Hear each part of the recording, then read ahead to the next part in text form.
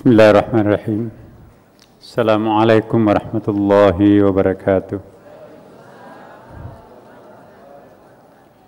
الحمد لله ثم الحمد لله والشكر لله والصلاة والسلام على رسول الله وعلى آله وأصحابه ومن تبعه إلى يوم الدين أما بعد Ibu-ibu dan bapak sekalian sama-sama dirahmati, dicintai, dan dimuliakan Allah Subhanahu wa taala. Marilah sebelum kita memulai pengajian ini kita memohon Allah agar malam Jumat penuh berkah ini diberkahi kita semuanya dan semoga materi yang kita akan mulai ini eh, betul-betul uh, bisa uh, Allah membukakan membukakan kemampuan kita sama-sama ya untuk bisa menghayati uh, makna yang kita akan gambarkan, kita akan jelaskan pada kesempatan ini dan yang akan datang. Ala hadhihi niyah wa ala kulli natin salih. Al-Fatihah. A'udzu billahi minasy syaithanir rajim. Bismillahirrahmanirrahim. Alhamdulillahi rabbil alamin. Arrahmanir rahim. Maliki yaumiddin. إياك نعبد وإياك نستعين اهدنا الصراط المستقيم صراط الذين أنعمت عليهم غير المغضوب عليهم ولا الضالين Alhamdulillah Bapak Ibu sekalian seperti yang pernah saya janjikan beberapa pertemuan yang lalu Insya Allah pada kesempatan ini kita akan masuk pada kajian tasawuf dengan kembali me membaca ulang materi-materi yang selama ini kita baca tapi dengan pendekatan yang sedikit lebih berbeda. Saya akan mengajak kepada kita semua untuk kembali memulai pelajaran kita dari tingkat awal tentang Misalnya kita mulai dari malam ini babus sholah, tetapi kita akan menekankan makna spiritualnya sholat. Kitabus sholah di dalam kitab-kitab fikih biasanya memang dibagi kepada pertama babut taharah atau kitabut taharah. Karena sebelum kita sholat, terlebih dahulu kita harus melanjutkan atau terlebih dahulu kita harus melakukan apa yang disebut dengan at-tahara. Apa yang dimaksud at-tahara di dalam kitab fikih juga telah dibahas. At-taharah ialah pembersihan diri dari hadas kecil dan hadas besar. Hadas bisa diartikan dengan kotoran, hadas kecil, hadas besar. Apa yang dimaksud dengan hadas kecil, hadas besar? Nah ini juga berbeda. Hadas kecil dalam fikih ialah kotoran yang kecil-kecil. Mohon maaf seperti kita mengeluarkan kotoran udara dari lambung kita ke bawah. Kita mengeluarkan cairan melalui alat pembuangan kita masing-masing. Itu cukup dibersihkan dengan membersihkan tempat keluarnya. Tetapi yang dimaksud dengan hadas besar antara lain ialah melakukan hubungan suami istri bagi bapak ibu yang mungkin masuk Islam e, mualaf itu memang dianjurkan mandi junub mandi bersih mandi taubat sama. Dan kita pun juga yang telah melakukan hubungan suami istri, ibu yang selesai menstruasi itu biasanya dianjurkan untuk mandi besar. Artinya liraf'il hadatsil akbar untuk membersihkan hadas-hadas besarnya. Kenapa yang berhubungan suami istri itu dianggap sebagai hadat besar. Ini tidak mendapat penjelasan rinci di dalam kitab-kitab fikih. Akan tetapi di dalam pembahasan tasawuf semuanya diungkapkan Bapak Ibu sekalian. Mengapa seperti kita mandi taubat pada saat kita melakukan hubungan suami istri? Bukankah kita telah melakukan doa? Ya, bukankah kita telah melakukan zikir sebelumnya? Tapi kenapa sehabis melakukan pekerjaan suami istri itu dianjurkan segera melakukan mandi janabah? Di dalam pandangan tasawuf khususnya di dalam kitab-kitab eh, ya antara lain Ibnu Arabi dan juga kitab-kitab yang lain termasuk juga beberapa kitab yang tasawuf mu'tabarah. Mu'tabarah itu artinya kitab tasawuf yang populer di dalam dunia sunni tidak usah diragukan lagi. Karena Salah satu penjelasan yang sangat menarik ya, nanti mungkin kita akan perdalam lagi pada saat membahas tentang uh, bab tentang mandi junub itu. Karena seseorang yang melakukan hubungan suami istri di situ berpotensi terjadi semacam pengalihan rasa cinta pengalihan rasa kepuasan dari yang seharusnya Allah yang maha memberi kepuasan tetapi kok yang diingat yang dirasakan istri atau suami? Ya, saya kira tidak perlu saya jelaskan apa yang sedang dirasakan bagi orang yang sedang melakukan hubungan suami istri itu. Berpotensi untuk melupakan Tuhan di situ seolah-olah puncak daripada segala puncak kenikmatan terjadi di situ itulah yang bahasa dewasanya disebut dengan orgasme. Orgasme itu adalah suatu puncak kenikmatan kelezatan yang dilakukan yang dirasakan oleh anak manusia yang seolah-olah yang terlibat di situ hanya dia berdua. Seolah-olah Allah Subhanahu wa taala yang maha tinggi maha agung maha memberi kenikmatan cenderung terlupakan di situ. Nah, begitu kita melupakan Tuhan di situ pada saat kita mencapai puncak kenikmatan, itu dianggap sebagai sesuatu yang uh, di dalam ilmu tasawuf itu sangat tidak etis. Karena itu kita perlu mandi junub. Seolah-olah kita mandi taubat di situ. Ya Allah, ampuni hambamu karena kami saja melakukan sesuatu yang sepertinya tidak sadar. Yang kami sadari adalah puncak kenikmatan itu ada di antara kami berdua, padahal sesungguhnya puncak kenikmatan itu seharusnya dari engkau semuanya. Ya. Jadi di dalam ilmu tasawuf Bapak Ibu, semua apa pun yang kita lakukan di mana Tuhan tidak hadir dalam apa yang kita lakukan itu, maka itu disebut dengan al-hadath. Apa pun. Misalnya mungkin kita sedang makan yang enak-enak, lezat-lezat, nikmat sekali. Apalagi puasa, tiba-tiba kita disuguhkan makanan buka puasa yang sangat lezat.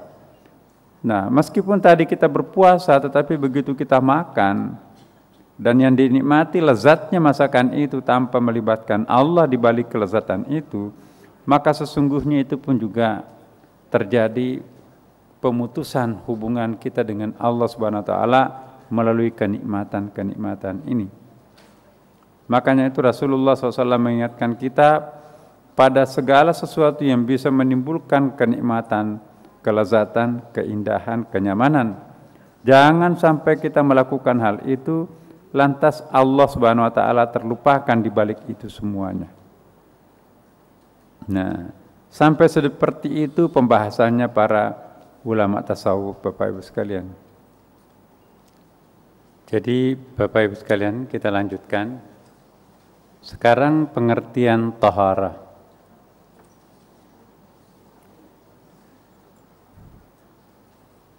Jadi sholat itu tidak bisa terlaksana tanpa dengan taharah. Taharah itu pembersihan. Di dalam kitab taharah nanti yang ke depan ini, kita akan bahas apa yang dimaksud dengan taharah definisinya. Lalu apa-apa saja yang harus kita bersihkan dan ada berapa tingkatan pembersihan, alat-alat pembersihan itu apa, objek yang harus dibersihkan itu apa, dan tentu saja bagaimana cara pembersihannya. Kita mulai dari pengertian taharah.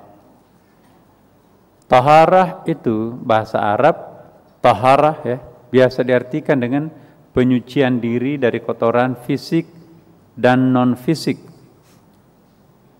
kita tinggalkan pembersihan kotoran fisik sudah kita lakukan, sudah kita alami, fahami juga.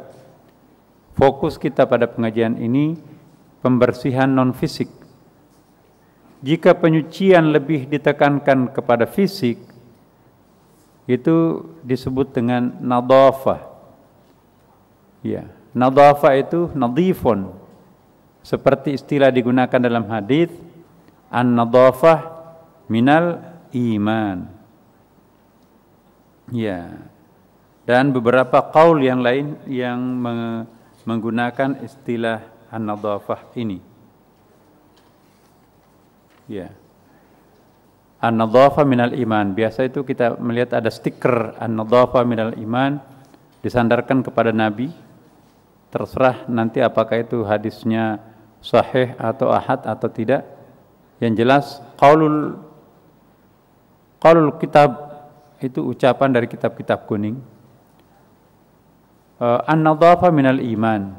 Ada yang mengatakan ini hadis uh, ada lagi mengatakan uh, bunyad dina ala nadhafah. Didirikan agama Islam itu di atas nadhafah. Wa qala al-Iraqi pendapatnya al-Iraqi lam ajidhu hakadha kami tidak menemukan redaksi seperti ini dalam hadis iya. Hanya wafid wafid du'afai li Ibn Hibban hanya ada sebuah hadis yang tidak terlalu kuat min hadisnya Aisyah dari hadisnya Aisyah tanaddafu fa innal Islam nadifun. Uh, tanaddafu uh, bersih-bersihlah. Karena sesungguhnya Islam itu nadifun Islam itu bersih. Bersih di sini tentunya adalah konotasi fisik Wat Tabrani fil Ausat dan uh, pendapat Tabrani ulama hadis fil Ausat uh, di dalam kitabnya Al Ausat bisa nadin dhaifin dengan sanatnya sedikit kurang kuat uh, min hadis Ibnu Mas'ud an-nadafatu tad'u ilal iman. Kebersihan itu uh, tad'u ilal iman mengajak kita kepada ke keimanan Nah, jadi um, an-nadhafa dan at-tahara itu beda, Bapak. Kali ini kita akan lebih banyak bicara tentang at-tahara bukan lagi an-nadhafa. At-tahara dalam penjelasan berikutnya ini jika penyucian lebih ditekankan kepada non fisik itu disebut tazkiyah. Jadi setingkat lebih di atasnya tahara itu tazkiyah. Kita sering mendengarkan uh, ada kelompok yang menamakan diri kelompoknya itu kelompok tazkiyah. Tazkiyatun nafs, penyucian jiwa. Seperti yang dikenal dengan istilah tazkiyatun nafs sebagaimana digunakan di dalam Quran di dalam surah uh, Asy-Syams ini kan. Wasyamsi wadduhaha wal qamari idza talaha wan nahari idza jallaha wal laili idza yaghshaha was sama'i wa ma banaha wal ardi wa ma tahaha wa nafsi wa ma sawwaha fa alhamaha fujuraha wa taqwaha qad aflaha man zakkaha wa qad khaba man dassaha kadzabat samud bi taqwaha idzim ba'atha ashqaha fa qala lahum rasulullah naqatallahi wa suqiyaha ila akhir ayat. Jadi di situ ada poin dari ayat 9-nya qad aflaha Itu di dalam Al-Qur'an kalau dikatakan qad sungguh itu yufidu ta'kid menekankan pentingnya yang disebutkan atau stressing point. Qad aflaha man zakkaha sungguh telah beruntung man zakkaha orang-orang yang menyucikan ha di situ an-nafs nafsun itu muannas maka itu disebut manzakaha bukan manzakahu di situ. Jadi kembalinya kepada nafs uh, jiwa di situ. Kada aflaha manzakaha sungguh beruntunglah orang-orang yang membersihkan uh, jiwanya hatinya kalbunya. Jadi sudah muncul tiga istilah. An-nadhafa pembersihan lahiriah. At-tahara pembersihan lahiriah dan non lahiriah kalau tazkiyah itu hanya khusus digunakan pembersihan batinia, tidak digunakan mencuci kaki dengan istilah tazkiyah. Hei, coba tazkiyahkan kakinya. Ya, mungkin artinya sucikan kakinya untuk tidak gentayangan ke mana-mana. Ya, hei itu kakinya itu sudah ke mana-mana tuh. Ya, lebih banyak dipakai pergi ke tempat maksiat atau ke masjid. Oh, enggak pernah dipakai ke masjid, ke tempat maksiat langganannya.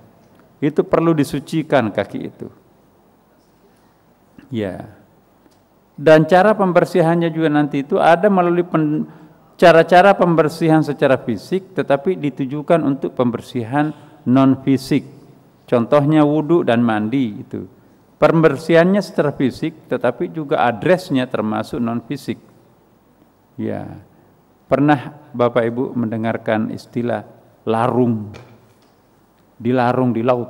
Nah, jadi pembersihannya secara fisik tetapi dampaknya untuk pembersihan tolak bala dan seterusnya. Ya, dalam Islam itu tidak seperti menggunakan bahasa seperti itu. Tapi kaitannya dengan itu ada upaya pembersihan fisik tetapi sesungguhnya dimaksudkan itu pembersihan non fisik atau pembersihan batin. Contohnya mandi keramas, mandi junub itu.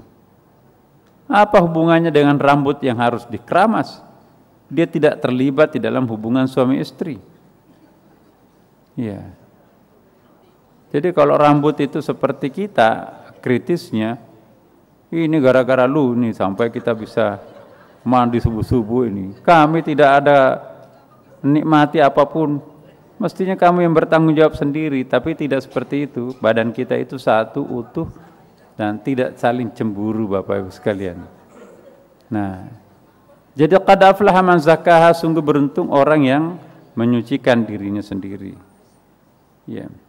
Lalu uh, taharah itu tadi di dalam Al-Qur'an banyak sekali miftahus salah ini dalam hadis ya waqala miftahus salah yakni at-tuhur. Ini diriwayatkan oleh Tirmizi dan Ahmad. Miftah artinya pembuka as-salah itu adalah at-tahur atau at-tuhur. Jadi pembersihan. Qala ta'ala rijalun yuhibbuna ayyutahharu wallahu yuhibbul mutahhirin.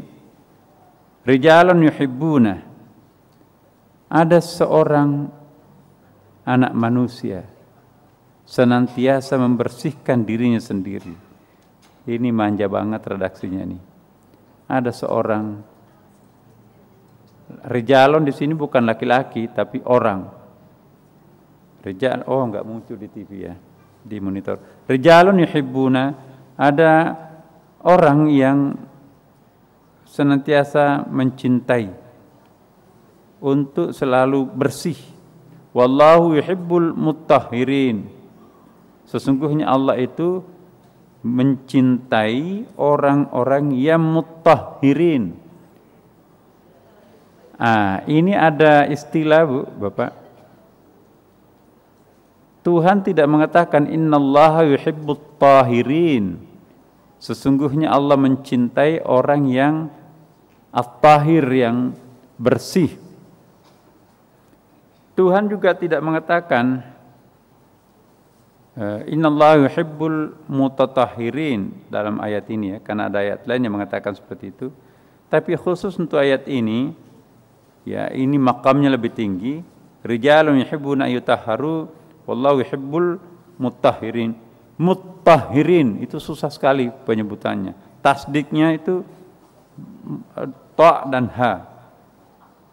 Inna Allah yuhibbul mutahhirin sebetulnya artinya bahasa Indonesia-nya sama. Sesungguhnya Allah mencintai orang yang membersihkan diri. Tetapi kalau at-tahiri membersihkan diri itu enteng pembersihan dirinya. Pembersihan dirinya tidak intensif, tidak efektif, tidak terlalu bersih, sekali seminggu, sekali satu bulan, atau sekali setahun. Jangan-jangan sekali seumur hidup. Nah, kalau itu at-tahirin. Tapi kalau al-mutahhirin itu selalu membersihkan minimal sebanyak jumlah salat lima waktu itu sendiri. Ya, dalam hadisnya kan, apakah masih ada kotoran seandainya di depan rumah itu ada sungai dan setiap kali lima waktu kita mandi di depan sungai yang jernih airnya itu masih ada nggak kotoran-kotoran kita di badan? Dijawab tidak ada lagi Rasulullah. Nah itulah perumpamaannya orang yang mandi, orang yang membersihkan diri minimum sebanyak sholat lima waktu. Ya. Ada lagi ini yang kita kutip tadi at-tuhur nisful iman. Ini diriwayatkan oleh Ahmad di dalam musnadnya itu at-tuhuri nisful iman, kebersihan itu separuh dari iman. Di dalam Al-Quran, ma yuridullah liyaja'ala alaikum min haraj, walakin yuridu liyutahhirakum. Nah, ini hayati bu. Allah Subhanahu wa taala tidak menghendaki kepada kalian sebuah kesulitan min harajin. Repot banget. Masa bersentuhan jabat tangan wudhu lagi. Ya. Ada sering keluhan begitu pada kita sudah pakai bedak, sudah pakai gincu, sudah masuk ke salon hanya bersentuhan dikit aja. Wudhu nah. terus orang yang sering kesal seperti itu dijawab oleh Allah ma yuridullahu liyaj'ala alaikum min haraj. Sesungguhnya Allah tidak bermaksud untuk menimbulkan kesulitan di antara kalian. Walakin yuridullah liyutahhirakum yang dikehendaki Allah ingin menyucikan engkau. Lembut sekali Allah memberikan pengertian kepada jiwa yang cinta terhadap kebersihan. Bukan merepotkan kalian tetapi Allah menghendaki engkau bersih. Karena kan kita tidak bisa mengukur ketika kita jabat tangan pada acara halal bihalal itu, ya seperti mazhab Imam Syafi'i. Eh, mazhab Abu eh, Imam Malik. Ya.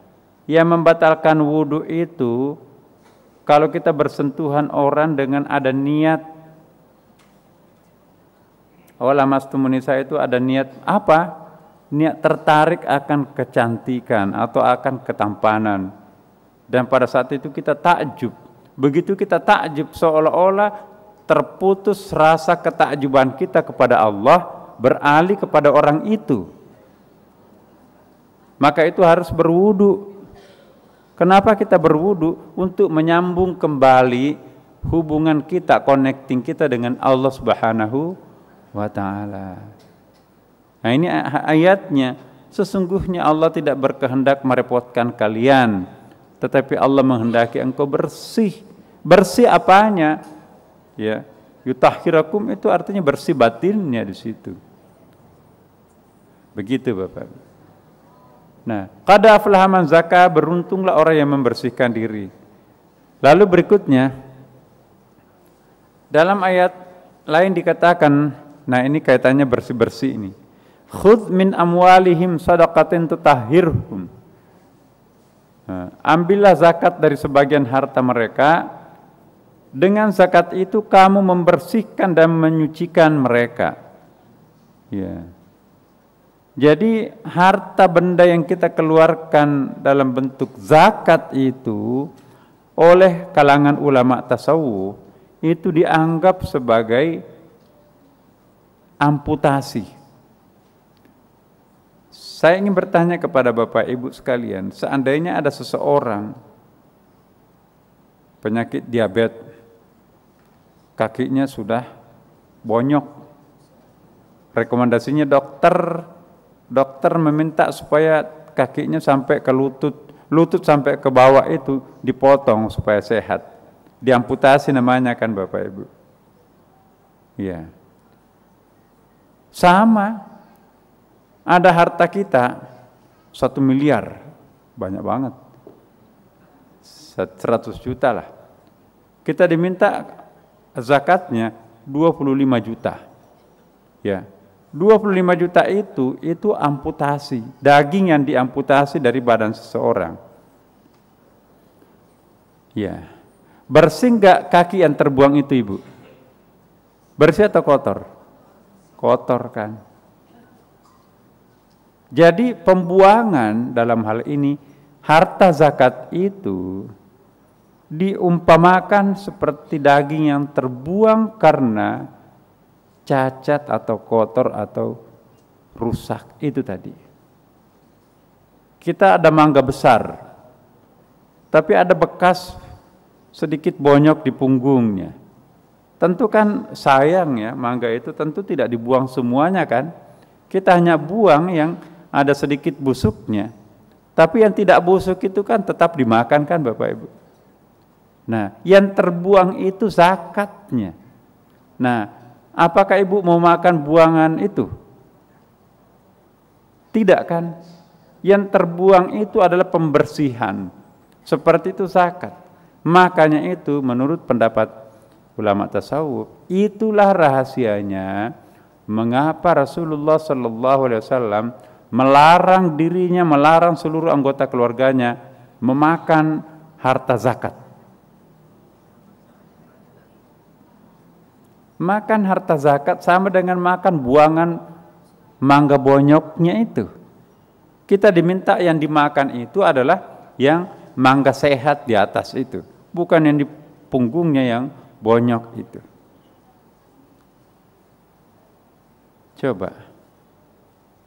Ulama yang tahu tentang tasawuf itu, walaupun dia dikasih harta zakat, Pak Kiai ini ambil zakatnya, dia berikan ke orang lain lagi. Kenapa? Rasulullah melarang anggota keluarganya makan harta zakat. Kita Bapak Ibu sekalian bukan ambil zakat, tetapi dia mau ambil banyak juga. Seakan juga punya keringat mengumpulkan. Mestinya dapat misalnya berapa persen sebagai ambil zakat, eh dia ambil separuh dari zakat itu. Alasannya macam-macam, ini kan kendaraan operasional, padahal yang pakai pribadi. Ini kan kita mau perbaiki eh, sekretariat, padahal sekretariat itu rumahnya. Makan enak-enaknya, kita kan sebagai amilnya. Makan tuh daging amputasi itu.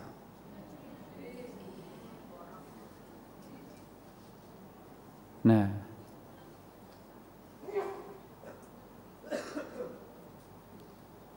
cara memandang pembersihan seperti ini. Maka itu dalam hadis ini khudh min amwalihin sadaqah, ambillah ke atau ambillah uh, zakat dari sebagian harta mereka itu dengan zakat itu nanti kamu akan membersihkan dan menyucikan diri. Kenapa bersih? Karena sudah terbuang yang kotorannya.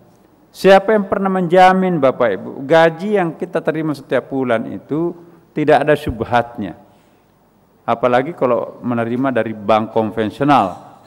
Bank konvensional itu kan sangat khilafiyah. Kenapa? Karena ada bunganya kan. Nah sekarang kan ada bank syariah, tidak ada alasan untuk tidak menggunakan bank syariah bagi mereka yang e, muslim taat. Ya. Udahlah yang kotor-kotor di situ kita sudah keluarkan zakatnya. Zakat itu pembuangannya lah.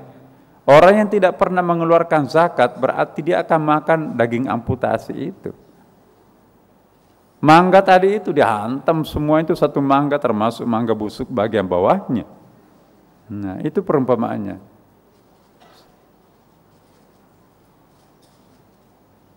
Sudah jelas Bu, Bapak. Jadi pembersihan itu sesungguhnya kata Allah bukan untuk merepotkan kalian, tetapi itu membersihkan diri.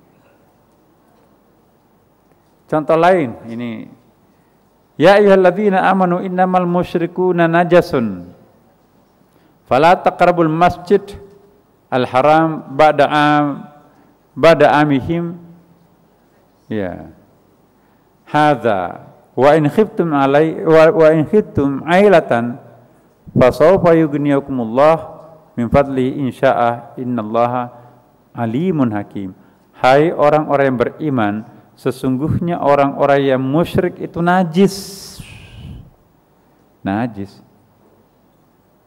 maka janganlah mereka mendekati masjid haram sesudah tahun ini. Nah, jadi innamal musyrikuna najasun. Apa yang dimaksud dengan syirik? Apa itu syirik Bapak Ibu? Dalam pengertian sehari-hari kita itu syirik menyembah berhala, iya kan? Dalam perspektif tasawuf syirik itu Orang-orang yang terkecoh mencintai sesuatu yang menyebabkan Tuhan itu lupa, terlupakan, itu sudah syirik. Ya. Seperti tadi dicontohkan, suami istri melakukan apalagi pengantin baru. Begitu melakukan hubungan itu sampai mendemonstrasikan kepuasannya sampai mohon maaf teriak-teriak segala macam Nah, apa yang terjadi dengan itu semuanya itu memutuskan connectingnya dengan Allah Subhanahu wa taala. Dengan demikian itu bisa menjadi persoalan di dalam ilmu tasawuf. Nah, ini kalau kita bawa ke pandangan fikih, wah ini keterlaluan walaupun tidak mengatakan salah karena susah menyalahkan ini kan ada hadisnya, ada ayatnya kan. Nah, jadi itu Bapak Ibu sekalian. Innamal musyrikuna najasun, sesungguhnya orang musyrik itu najis. Apa itu najis? Ya. Sama juga dengan apa yang nanti kita akan bahas tentang aurat ya. Kalau kita bicara tentang aurat dalam fikih, aurat itu ialah sesuatu yang tidak boleh tersingkap pada waktu kita sedang sholat. Contohnya perempuan, aurat itu segala seluruh anggota badannya kecuali muka dan telapak tangan. Ya. Aurat itu harus ditutup. Tidak mungkin sholat itu bisa diterima kalau kita memperlihatkan aurat. Laki-laki dada dan sampai ke betisnya. Ya. Boleh nggak kita sholat pakai handuk hotel itu? Handuk di hotel itu menutupi pusat sampai lutut. Jawabannya secara fikih boleh, tetapi kalau dalam ilmu tasawuf sangat tidak sopan. Ya. Tidak santun. Masa pergi menghadap atasannya pakai jas, pakai dasi, menghadap sang pencipta pakai handuk memang menutup aurat. Jadi ulama fikih yang bijaksana itu dia tidak akan menjelaskan hadis itu secara letter-let. Udah kok menurut hadis Nabi aurat laki-laki sampai di sini harus ditutup. Tapi ada namanya muruah. Muruah itu semacam harga diri yang sangat tinggi, rasa malu yang sangat tebal, ya tentu kita malu mempertontonkan sesuatu yang tidak wajar kita pertontonkan. Sekalipun itu tidak bertentangan dengan fikih. Contohnya tadi. Ya salat pakai transpak ya kayak celananya jojong tuh. Celana jojong itu menutupi pusat dan juga bawa lututnya sedikit kan. Udahlah pakai pakaiannya jojong salat isya. Ya Pasti ada yang nanya, ini olahraga jungkir balik atau apa ini? Apa yang dipandang dalam satu tempat itu sesuatu yang sangat terhormat, Seperti itu yang kita harus perlakukan diri kita dalam rangka menghadap kepada Allah Subhanahu wa taala.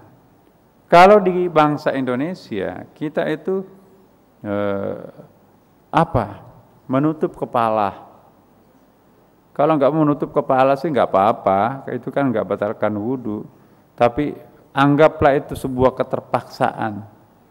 Kita dari rumah nggak bawa peci, kita di kantor juga nggak bawa peci, dan kita juga ada penyakit di kepala kita itu kalau gatal dan seterusnya itu nggak apa-apa. Allah yang tahu dengan rahasia pribadi kita.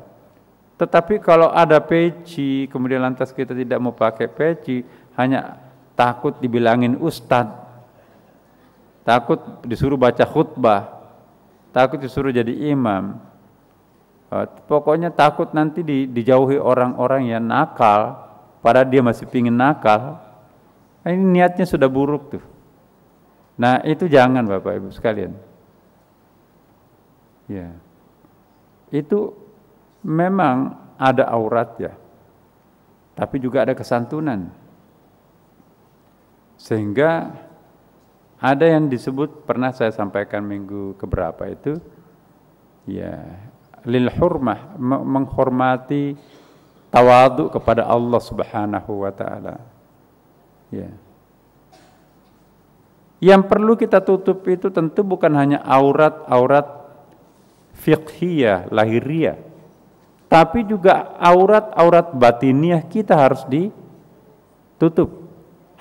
Pernah saya sampaikan minggu lalu, contoh aurat batiniah itu yang harus ditutup itu segala sesuatu yang bisa menimbulkan ketersinggungan Allah Subhanahu wa taala. Apakah Allah sering tersinggung? Banyak hadisnya. Contohnya orang egois, takbur. Jangan ada yang takbur karena takbur itu pakaianku kata hadis Nabi. Jangan ada yang menggunakan pakaian takburnya Tuhan. Hanya Allah yang bisa takbur. Sifat Allah yang disebut al-mutakabir ya kan? Allah Maha Takbur, Allah Maha Angkuh, Allah maha e, besar egois gitu ya. Karena itu kita tidak boleh mengambil alih hak prerogatifnya Allah Subhanahu wa taala. Jadi Bapak Ibu sekalian, aurat-aurat yang harus ditutup itu menurut ulama tasawuf bukan hanya aurat badaniah kita, tapi juga aurat kalbu kita, aurat, nafs kita, aurat roh kita. Contoh aurat-aurat itu ialah uh, mendemonstrasikan prestasinya di depan orang, ananiahnya, ujub. Apa itu ujub? Memuji-muji dirinya sendiri. Ya. Dia sudah mau salat, dia sudah berwudu, dia memakai mukena. Tahu nggak? Wah, saya tadi di kantor dipuji-puji oleh atasan saya melakukan prestasi yang luar biasa. Apa itu? Berhasil memecahkan kebuntuan persoalan. Ya, akhirnya wah hebat ya Anda ya. Oh iya dong. Itu membuka aurat spiritual. Orang yang rajin membuka aurat-aurat spiritualnya itu disebut dengan tukang ria, suka pamer, Orang yang suka pamer itu sesungguhnya telanjang. Telanjang apanya? Telanjang batinnya. Mungkin pakai mukena jilbab, tetapi telanjang batinnya. Yang kita harapkan itu menutup aurat lahiriah dan juga harus menutup aurat batiniah kita.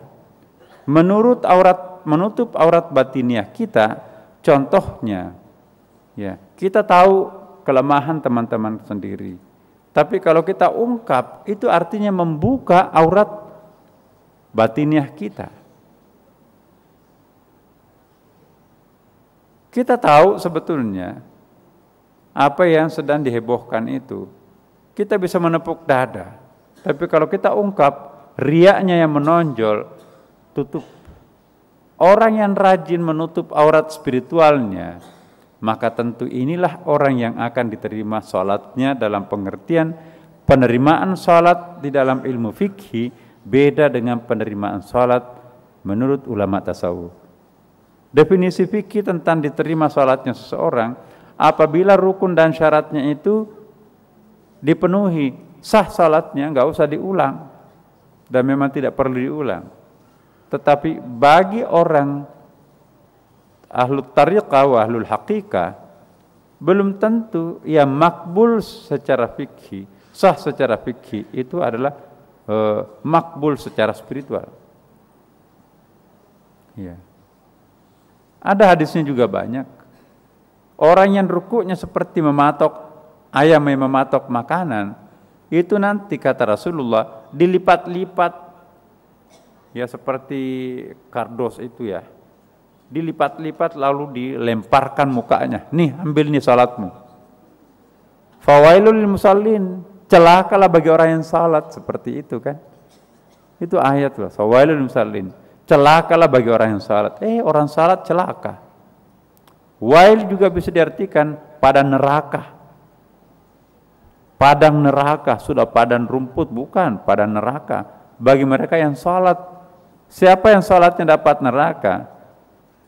Alladzina hum an salatihim sahun. Yang salatnya hanya mengedepankan fikihnya, formalitasnya, seakan tarawihnya 23 rakaat.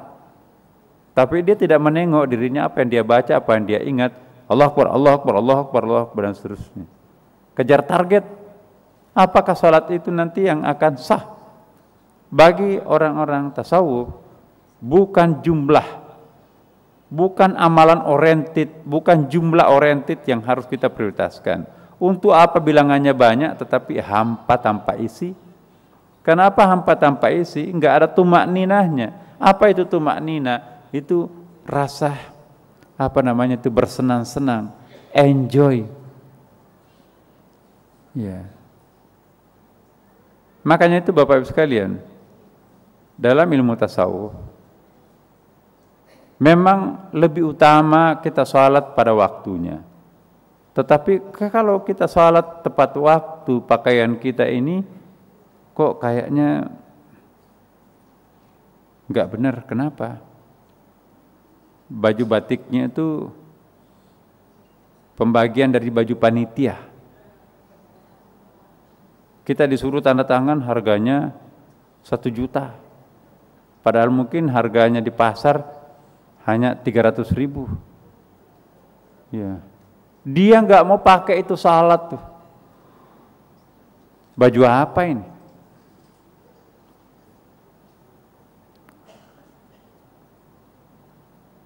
Ada hadiah lebaran, isinya sajadah. Wah bagus sekali sajadahnya. Turki lagi. Siapa yang ngasih ini ya? Dia lihat kartu namanya, oh itu rekanan di kantor, pasti ada maunya itu. Orangnya kok terkenal sangat pelit, kok sama kita dikasih macam-macam. Itu bisa hati nurani kita itu menebak. Ini nggak benar ini. Udahlah, nggak usah pakai sajadah itu untuk sholat. Taruh aja di masjid. Ya, kita sedekahkan lagi ke masjid. Masjid kan tidak tahu itu barang apa, terserah Mudah-mudahan pahalanya ada untuk bisa membersihkan si pemberinya itu. Jadi husnudzan kita doakan orang lain baik ya. Makanya itu pengajian kita di sini tasawuf ini ya. Kebersihan itu bukan lagi pada kebersihan lahiriah tapi kebersihan batin. Nah. Kemudian satu lagi Bapak. Anggota badan yang harus dibasuh ketika mandi junub meliputi sekujur badan termasuk diniatkan untuk mencuci eh, dalam perspektif ahli tarekat ini tahara bukan hanya membersihkan aspek lahiriah tapi juga aspek batin. Ahli tarekat menjelaskan bahwa mandi, wudhu dan tayamum diharapkan sekaligus membersihkan segenap unsur non lahiriah dalam diri manusia. Adakah non lahirnya dalam diri kita? Ada kalbu kita, jiwa kita, roh kita itu kan. Sama juga dengan air, nanti ini kita akan urai nih. Ini prolognya. air atau debu tanah sa'i dan taiban tidak saja membersihkan kotoran fisik tapi secara simbolik membersihkan jiwa, pikiran dan segenap dosa yang melekat di dalam diri manusia. Di sinilah fungsinya niat tahara untuk mengangkat hadas kecil dan hadas besar ya dan eh, kekhilafan-kekhilafan kita baik yang dilakukan oleh anggota badan manusia maupun yang terselip di dalam pikiran dan jiwa manusia. Kita sudah salat, eh, kita sudah tayamum, kita sudah wudhu misalnya. Kok masih tega-teganya pikirannya memikirkan kecantikan, keelokan istri orang lain. Sudah di atas saja dah. Bahkan sudah salat masih sempat berpikir macam-macam ke seperti itu. Error ya Bu. Eh. Masya Allah. Jadi badannya mungkin bersih tapi aspek badan dalamannya yang tidak bersih. Ya. Bagaimana Allah bisa memberikan kekhusyuan terhadap hambanya kalau hanya badannya yang bersih tapi jiwanya tidak bersih. Allahu Akbar dendam pokoknya saya tunggu kesempatan rasain lu nanti saya akan balas Allahu Akbar ya. sujud subhan rabbil bihamdi subhan rabbil bihamdi habis itu asyik dia memikirkan dirinya sendiri pokoknya nanti kalau saya doanya makbul dapat kekayaan memenangkan tender pokoknya saya akan traktir teman-teman semua teman-teman yang saya lupa Sekian lama tidak pernah saya kontak, saya akan kontak halal bil halal bersama. Sampai tujuh menit di atas saja dah. Rukunya saja satu ruku, satu ruku atau satu sujud itu panjang banget. Menghayal di dalam sholat. Itu godaan-godaannya luar biasa. Jadi Bapak Ibu sekalian, membersihkan diri itu bukan hanya diri dalam pengertian badan, tapi pikiran, jiwa, roh kita itu harus bersih. Nah, minggu depan insya Allah Ibu, kita nanti akan menggunakan ada enggak alat pembersih yang mampu membersihkan keseluruhan lapis-lapis dalaman manusia. Apa alat pembersih? Air kan. Apa itu air? Nah, insya Allah minggu depan kita akan tahu rahasianya air itu apa. Ternyata air itu bukan sekedar benda cair, tapi air itu sumber daripada segala sumber kehidupan, sumber daripada segala sumber pembersihan, bahkan ya nanti ada kaitannya dengan Ka'bah, nanti ada kaitannya dengan istana Tuhan Aras yang namanya air itu. Dan sampai di sini dulu Bapak Ibu sekalian, ini baru prolognya. Mudah-mudahan nanti pada minggu depan kita sudah mulai masuk lagi ke materi selanjutnya. Diharapkan nanti kita akan tuntas uh, ini Bu Bapak. Saya nggak tahu ini baru satu halaman ini kita bahas ini. Judul bukunya adalah hmm, Ada Abu Salikin fi Ma'rifati Asrari Ibadatil Arifin. Artinya adab tata cara as-salikin salik itu para pencari Tuhan fi ma'rifati asrari ibadatil arifin. Ya, ma'rifah pengetahuan tentang rahasia-rahasia ibadat para arifin, para sufi. Nah, di sini ada rahasianya para sufi di dalam beribadah. Mudah-mudahan kita tahu rahasianya mereka dan insya Allah kita akan nanti ikut bersama di dalamnya. Siapa yang akan masuk surga kalau bukan para arifin dan kita mohon agar Allah kita ikut sebagai makmum di belakangnya, sebagai muridnya. Demikian Bapak Ibu sekalian, semoga ada uh, berkah untuk kita semuanya. Al-Fatihah. A'udzubillahi minasyaitonirrajim. Bismillahirrahmanirrahim. Alhamdulillahirabbil alamin arrahmanirrahim maliki yaumiddin. Iyyaka na'budu wa iyyaka nasta'in ihdinas siratal mustaqim. Siratal ladzina an'amta 'alaihim ghairil maghdubi 'alaihim waladdallin. Assalamualaikum warahmatullahi wabarakatuh.